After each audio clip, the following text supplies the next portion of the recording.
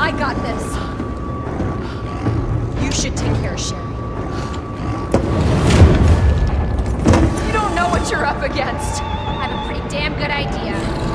Whatever you do, don't stop until it's finished. Trust me. This ends now.